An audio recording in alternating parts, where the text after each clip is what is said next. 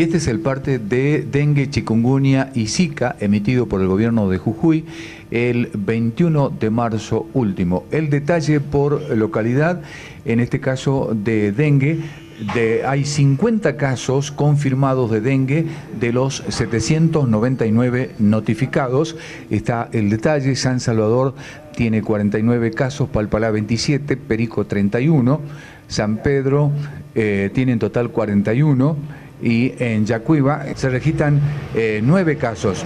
Eh, hay que decir que en cuanto a chikungunya hay ocho casos y son de sexo femenino.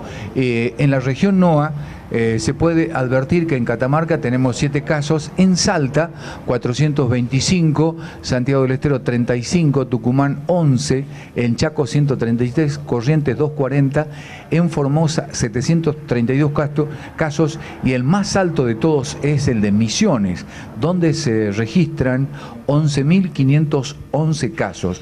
Este número también nos decía la gente que podía elevarse teniendo en cuenta que se... Eh, iba a producirse un pico justamente para Semana Santa.